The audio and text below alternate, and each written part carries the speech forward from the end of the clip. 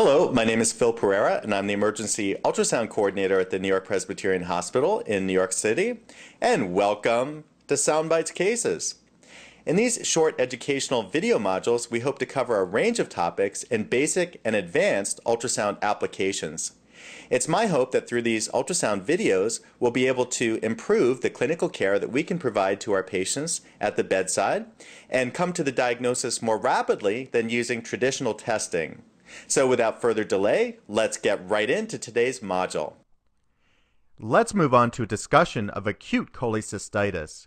Here we see a number of gallstones, and as most cases of cholecystitis in the ED are calculus or gallstone related, this would be a signature finding.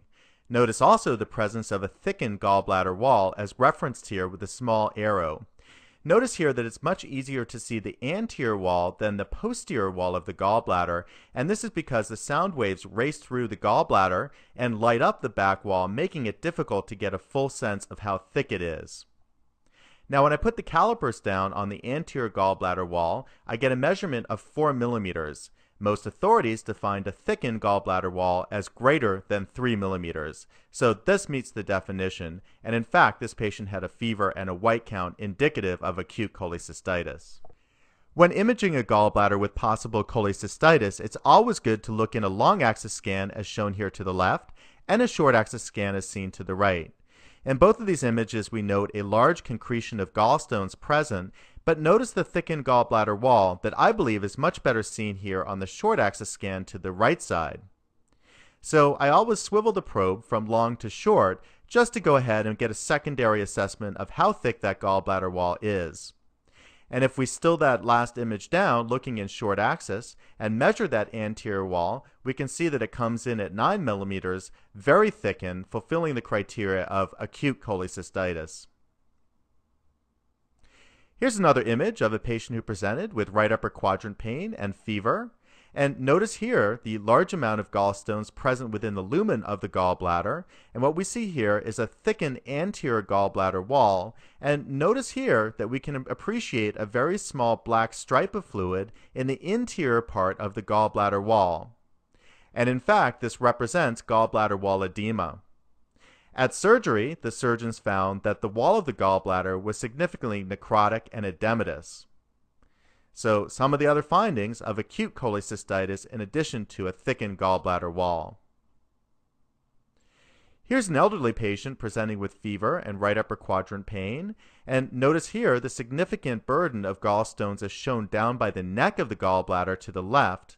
But let's look anterior to that anterior wall and we see a small stripe of pericholecystic fluid here.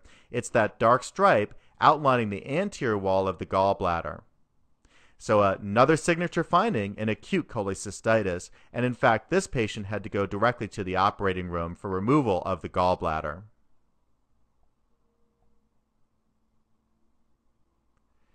Here we're looking at that same gallbladder from a subcostal view, and again we can appreciate the large concretion of gallstones present within the neck of the gallbladder, and note the posterior acoustic shadowing. And we can also see that stripe of fluid surrounding the anterior wall consistent with pericholecystic fluid. And sometimes that amount of pericholecystic fluid can be subtle, but that's a significant finding for acute cholecystitis.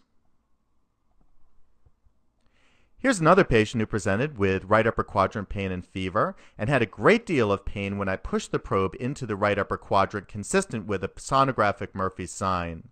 Notice the large amount of gallstones layering out along the back wall of the gallbladder, the gallbladder wall thickening of the anterior wall, and the presence of pericholecystic fluid, all consistent with acute cholecystitis.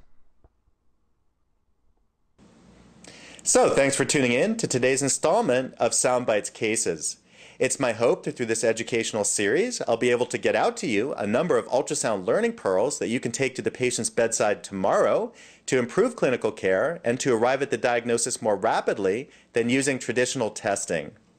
So I hope to see you in the future as Soundbites Cases returns and as we move on to discuss a range of interesting topics in bedside ultrasonography.